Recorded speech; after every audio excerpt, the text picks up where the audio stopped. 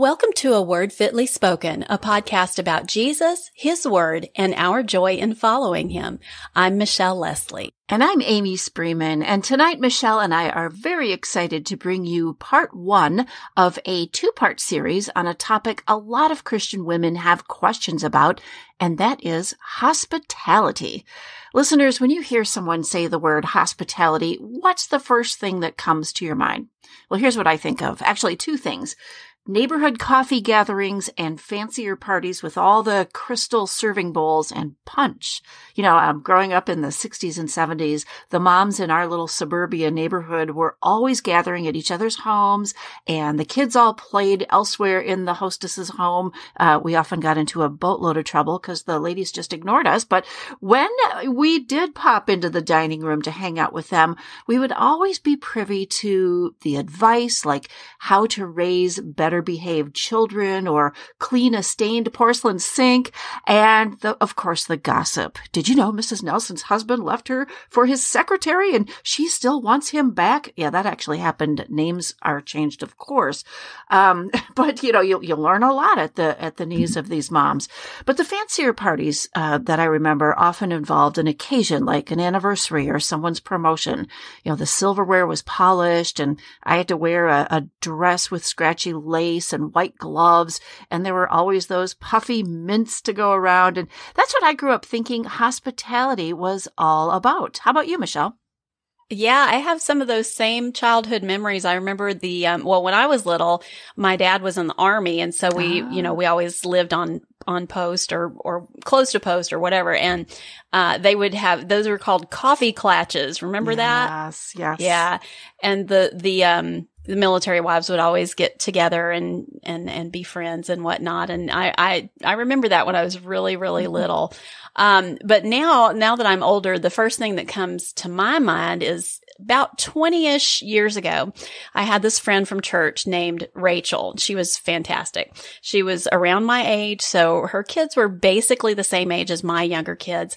And she had a lovely home and she would have birthday parties for her kids and fellowships for our adult Sunday school class and all kinds of other events that our family would attend at their house. And her home was always immaculate at these events and just beautifully decorated with flowers and candles and centerpieces and whatnot. And it just looked like something out of a magazine. And I thought, you know, this, this is hospitality. And if I'm going to be more hospitable, I need to go out and get more candles, you know, because I had five boys, one girl, and at least one dog most of the time. And even if we could have afforded expensive furniture and rugs and vases and stuff, we wouldn't have bought it. Our house had that lived in look because it was lived in. yep. It was an absolute frat house a lot of the time. And I used to think, well, I guess I'll never be hospitable because my house will never be nice enough or tasteful enough or well decorated enough, no matter how many candles I buy. Someday when the kids are older and the house is nicer, then I'll be hospitable. Yeah, I think the things that Michelle and I have shared is what a lot of us think about when the topic of hospitality comes up. We see the pictures in Better Homes and Gardens and House Beautiful, Pinterest. Some of us are older to remember though Martha Stewart before she went to jail. Uh, we hear mm-hmm. hospitality and we think of having 12 people over for like a, a formal dinner on fine china in our beautifully decorated, expensive homes. And of course, we're wrong. That is not hospitality. At least it's not the Bible's idea of hospitality. What we think of as hospitality is in reality entertaining. That's what we think. Biblical hospitality is welcoming others because Christ has welcomed us. It is loving others because he first loved us. It is inviting others to feel like part of the family because we have been adopted into God's family. And you don't have to have a picture perfect house and a dinner party to do those things. We should be doing those things wherever we go with everyone we encounter. Hospitality is a posture of heart that should be a normal character trait of all Christians. That's right, Amy. But what does that mean both biblically and practically? Well, let's dig a mm-hmm. little deeper into what the Bible says about hospitality. And we're going to look at two different types of scripture on this, descriptive and prescriptive. So take a little time for Bible teaching here. Descriptive passages describe something that happened descriptive. Describe see? There you know these passages are narrative. Noah built an ark. Esther became queen. Paul got shipwrecked. These are just passages that tell us what happened to somebody. They're not telling you to go build an ark or become a queen or that one day you'll be shipwrecked. All right so that's descriptive passages. Prescriptive passages are commands or statements to obey. Don't lie. Share the gospel. Forgive others Descriptive passages can support, but never trump prescriptive passages. That's right, Michelle. I, I love that concept because it's uh, it's something that we all need to learn as Christian women, uh, the difference between those two. So first, we're going to take a look at some biblical commands about hospitality. These would be the prescriptive passages Michelle was talking about. So grab your Bibles, ladies. Here we go. Let's start with Matthew seven twelve. It says this. Whatever you wish that others would do to you, do also to them, for this is the law and the prophets. Now, this passage that's usually called the Golden Rule, it's actually the heart of how we do hospitality.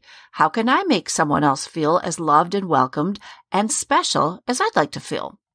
And then let's look at Romans 15:7. Therefore, welcome one another as Christ has welcomed you for the glory of God. So we are to welcome your brothers and sisters in Christ the same way Christ has welcomed you.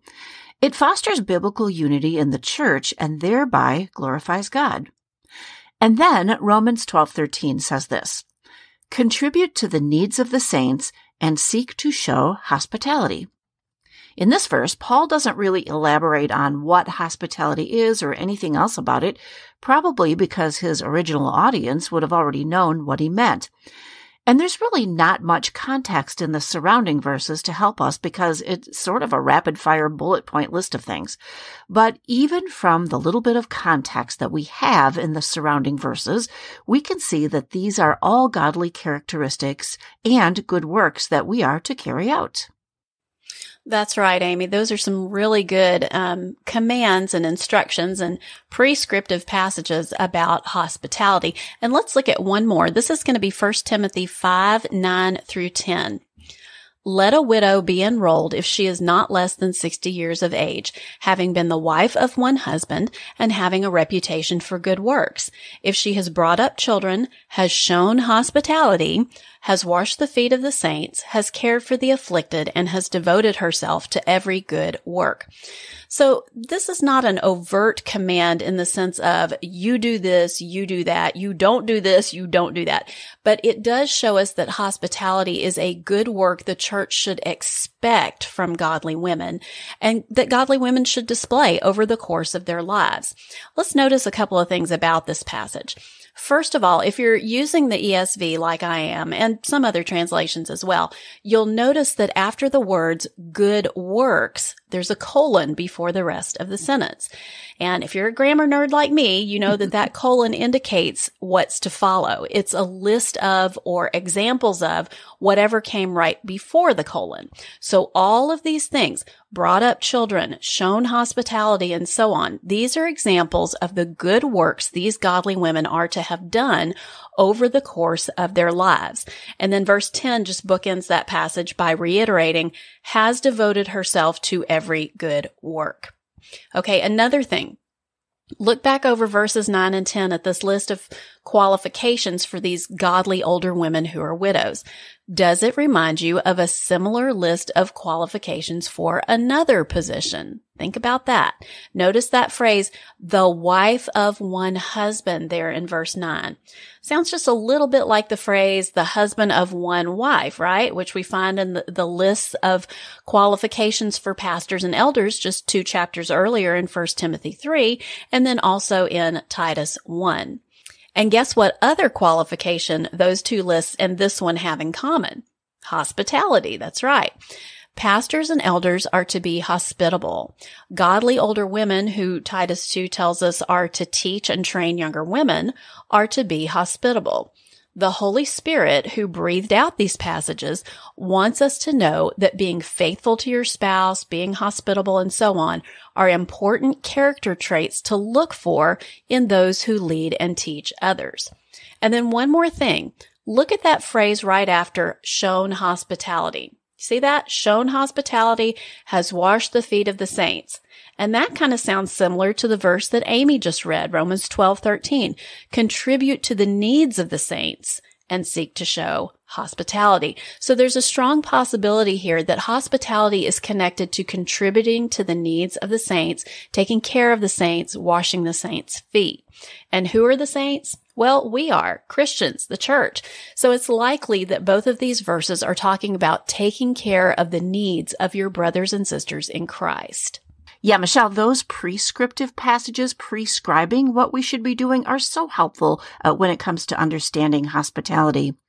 Now let's move on to some descriptive passages of biblical examples of hospitality. But before we get started on these passages, I want to give you an illustration that will help you understand how we'll be looking at them. So picture a flower bud in your mind. Now, as we record this, it's the middle of winter. It's freezing. I haven't seen flower buds in a long time. But if you picture a flower bud that hasn't bloomed yet, it still has that hard green covering over the petals. When that flower blooms, it breaks out of that hard cover and those green shards that were once covering the petals bend back behind the flower. Those pieces of that covering are known as sepals. Yeah, rhymes with steeples, right? So when the flower blooms, the sepals are still part of the flower. But when the sepals aren't the main point of the flower, so to speak, the flower is the main point of the flower. You see where we're going with this. In these passages we're about to look at, hospitality is the sepal, not the flower of the passage.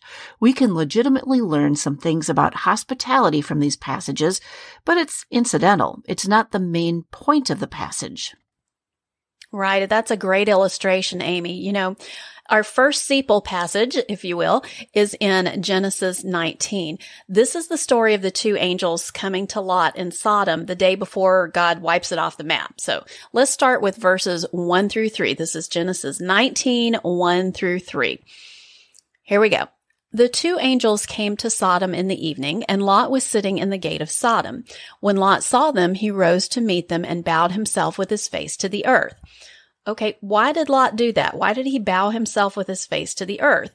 Well, it was a sign of respect and of honor. It's sort of a way of saying, uh, I'm your humble servant. What can I do for you? So does this mean that we have to literally bow with our faces to the earth when we meet a visitor? Well, no, but the principle that we can learn from this passage is to show others respect and honor and seek to serve others in humility. Verses two and three say this, that, and this is Lot speaking, my lords, please turn aside to your servant's house and spend the night and wash your feet. Then you may rise up early and go on your way. They said, No, we will spend the night in the town square. But he pressed them strongly, so they turned aside to him and entered his house. And he made them a feast and baked unleavened bread, and they ate. Now, we know the rest of the story, so we know these are angels. Lot doesn't know that. To Lot, these are just traveling strangers. Does biblical hospitality require you today to take random transients into your home to spend the night? No, this was a, a, custom of the time, not a biblical law. There could conceivably be some circumstance in which you might take some unknown person into your home, but this is not a habitual practice scripture requires of you as a New Testament Christian. So he calls them my lords and he calls himself your servant. Again, he's showing them honor and respect, showing that he's humbly at their service. Yeah, he does. And, and notice how Lot says in verse two, turn aside to your servant's house and spend the night and wash your feet. Then you may rise up early and go on your way he's welcoming them into his home for a place to sleep and shower, basically. Mm-hmm. And then he'll send them on their way in the morning. So what's the principle here? We're to be welcoming to people to provide for, to provide for their needs. But still they respond, no, we will spend the night in the town square. Verse three, but he pressed them strongly.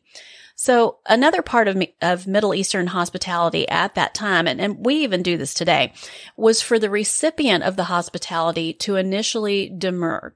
No, that's okay. You don't have to put yourself out like that. We'll be just fine right here in the town square. You know, we, we do that even today. Well, we especially do that up here in, in the north. We're, we're polite, we think, uh, to a fault. so. Oh no. Yeah, we we do it down here too. So so we go through that, you know, we go through that or the the people in in the Middle East at that time would go through that and then the the one extending the hospitality would insist. No, I insist. It's no trouble at all. Now, we we do that in American culture.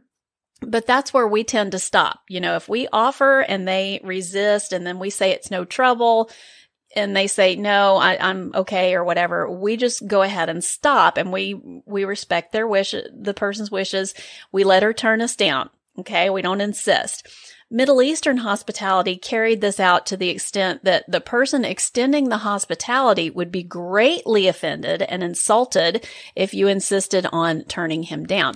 Because to use this case for an example, these men that Lot was talking to, they would essentially be saying, Lot, your hospitality is so suspect. We'd rather spend the night in the town square and take our chances than come to your house. Oh, that's so interesting.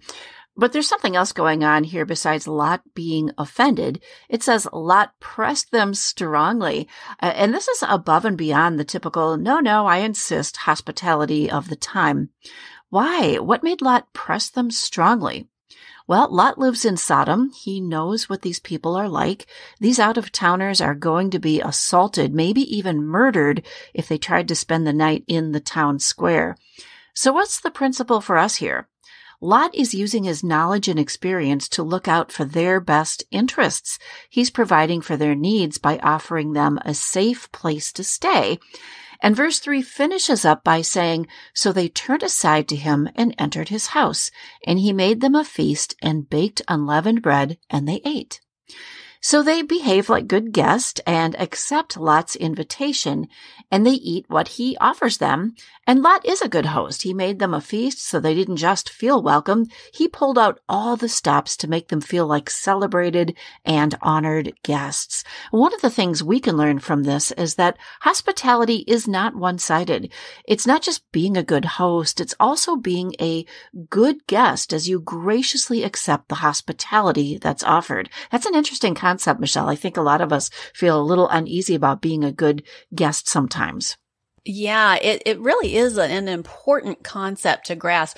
We've heard all of our lives that it's more blessed to give than to receive. And yeah. that's true because that's what the Bible says. But you know, we can't always be the giver and we have to learn how to be godly and gracious receivers too, whether that's, you know, a, a, a literal tangible gift or whether someone is off- offering us hospitality or, or whatever it is, we have to give other people the opportunity to be givers because we know that it brings yeah. them joy and we know that it brings them blessings. So we have to be good givers and good receivers. Well, there are a number of other examples of hospitality in Genesis. So listeners, let me give you an optional homework assignment if you'd like to do a little more study about the biblical principles of hospitality go through Genesis 24, 10 through 60, 61, excuse me. That's the story of Isaac's servant going to get Rebecca. So Genesis 24, 10 through 61. And then Genesis 29, 1 through 30. That's the story of Jacob arriving at Laban's house and marrying Leah and Rachel. So that's Genesis 29, 1 through 30. And go through those passages passages and look for examples of good hospitality and poor hospitality. And make sure you're remembering that these are descriptive passages, not prescriptive passages. God's not commanding you to go water anybody's sheep. Okay. And so remember that and then draw out the general principle behind the good and bad good or bad example that God wants us to follow or learn from. And when you're finished with that, while you've got your mind fixed on hospitality, see if you can think of any other passages in Genesis that show us something good or bad about hospitality. I can think of at least two other examples in Genesis. Maybe you can come up with more. All right. Those are great study ideas, ladies. Let's move on. Let's look at another Sepal passage about hospitality. This is found in Luke 9, 10 through 17, and this is the story of Jesus feeding the 5,000. So it goes like this. On their return, the apostles told him, that's Jesus, all that they had done, and he took them and withdrew apart to a town called Bethsaida. The first part of Luke 9 is the part where Jesus sends out the 12 uh, across Israel to preach and heal. So this is right after they get back from that. And Jesus is basically taking them on a little retreat to debrief and to rest. So let's continue in verse 11. When the crowds learned it, they followed him, and he welcomed them and spoke to them of the kingdom of God and cured those who had a need of healing. Now, how many times has this happened to you? You've got plans to do something that's biblically legitimate and good, and all of a sudden, those plans get derailed because somebody needs something from you right now. Well, how did Jesus respond to this? He welcomed the crowd. He sacrificed what he had planned in order to serve others. Yeah, he did. Now, you do have to do this in good biblical balance, just like Jesus did, or you're going to kill yourself trying to do everything for everybody immediately. You know, we know that Jesus did find times to withdraw to quiet places to rest and pray, both with the disciples and alone, because scripture tells us he did. And also, moms, you will not be doing your children any favors if you constantly give in to their demands immediately. Yeah. They need to learn the principles of hospitality, of waiting patiently, not being selfish and demanding, and not imposing on others. And you need to teach them that by sometimes telling them no or wait. So sometimes, like Jesus does in this passage, we cancel our previous plans in order to welcome others. We just need to use biblical wisdom to know when that is appropriate and when it's not. Absolutely. Let's continue in verse 12. It says this. Now the day began to wear away, and the twelve came and said to him, Send the crowd away to go into the surrounding villages and countryside to find lodging and get provisions, for we are here in a desolate place. Yeah, look at this very interesting contrast. Verse 11, Jesus welcomes the crowd. And then, you know, a couple verses later in 12, the disciples say, send them away. In verse 11, Jesus provides for the people's spiritual and physical needs, and that's teaching and healing. And then he did that himself. So verse 12 says the disciples want to send the people to others out in the world to have their needs met. And look what Jesus said to them next. Verse 13, he said to them, you give them something to eat. Think about those New Testament commands we read earlier about Christians showing hospitality. At the time Jesus is feeding the 5,000, it's just a couple more years until the establishment of the New Testament church. Remember, hospitality, welcoming people in. That's what it means. Welcoming people in to have their needs met by the hands and feet of Jesus. Not sending them away so they can try to get those needs met elsewhere. That's to be characteristic of the church and a character trait of the individual Christian. Hospitality isn't the main point of this story, of course, but it is one of the incidental things Jesus was impressing upon the disciples. The founding fathers of the church, that's what they were. And, and as this event unfolded, so we need to welcome people in. We don't want to send them away, especially out into the world. We know what that's like. The church is really where people should be getting their needs met. It sure is, Amy. The we should really be welcoming people like yeah. Jesus did into the church so that we can help meet their needs, not send, sending them out into the world to try to get their needs met by somebody else. Well, continuing on with verse 13, the disciples said, we have no more than five loaves and two fish unless we are to go and buy food for all these people, for there were about 5,000 men. Okay, let's not be too hard on the disciples here. They look out over a crowd of 5,000 hungry men plus women and children. So conservatively yeah. speaking, probably at least 10,000 hungry people, 12 of the disciples. They're looking out and seeing this. And Jesus says, you feed all those people. What would you say in that situation? We ought to put that on our, our next What Would You Do, Amy? Yeah. Uh, that would be a really people. hard one. well, but, you know, think about it. What would you say yeah. in that situation? Probably the same thing they did. You know, we got to make groceries share. We got to break out the big jambalaya pots for this one. we'd say, That's what we'd say. yeah, yeah, I think we got some sturgeon in the freezer, but uh, I don't think we got enough there. the disciples thought pragmatically first, you know, unless we are to go and buy food for all these people. In other words, we got to handle this ourselves and come up with our own solution. But instead, they should have looked to Jesus for provision first. Yeah. Back to verse 14. And he said to his disciples, have them sit down in groups of about 50 each. And they did so and had them all set, sit down. And taking the five loaves and the two fish, he looked up to heaven and said a blessing over them. Then he broke the loaves and gave them to the disciples to set before the crowd.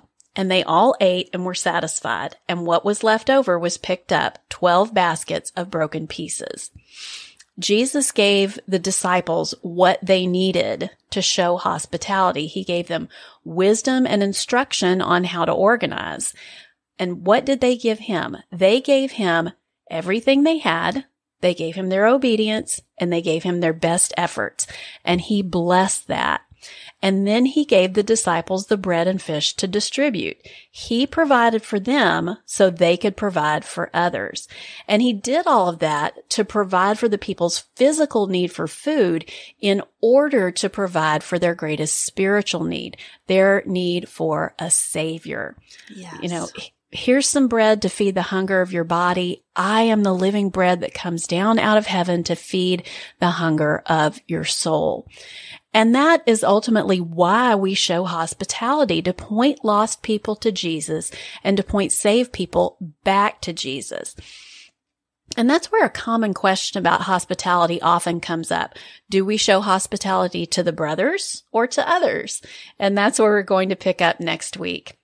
Amy, I don't know about you, but I've really enjoyed studying God's word, what God, God's word has to say about hospitality so far. Oh, me too, Michelle. We're going to continue digging into God's Word next week in part two of this little mini series on hospitality. We're going to take a look at extending hospitality to Christians and to strangers. We're also going to discuss a few instances in which the Bible says we should not extend hospitality. And we're going to offer a few practical tips and guidelines to help you practice hospitality every day. Yeah, I can't wait. And I hope Yeah. you listeners are looking forward to it as much as we are. You know, Amy, hospitality would be a great topic for us to teach about at a women's event. And I want to remind our listeners that if you're planning a women's conference or maybe a co-ed conference with breakout sessions just for women, Amy and I would love to come speak to your ladies together. Yes. Uh, you, you know, we can do it separately too, but we would love to come do it together. And you can We get more information about that at the speaking tab at our website, a word fitly spoken dot life. We also want to periodically remind you that if you need any of our episodes in text form rather than audio, we have two ways you can get that. First, in the show notes of every episode, you can click the link that says transcript. Or you can go to our YouTube channel and click the CC button at the bottom of the video, our video for that episode for captions. That's right. Well, ladies, thank you for listening. And remember, welcome others as Christ has welcomed you and walk worthy.